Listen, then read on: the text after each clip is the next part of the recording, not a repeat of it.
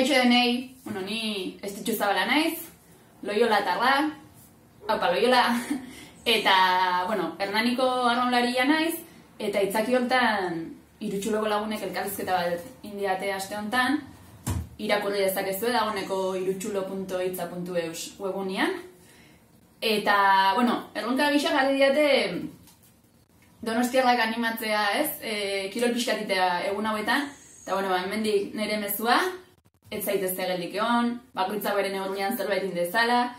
e, egokitu gaitezke, bai? Ni beste hainbat kirolari bezala, ba, egokitu naiz, hemen nabaitxean ergometro batekin, nork esango liake,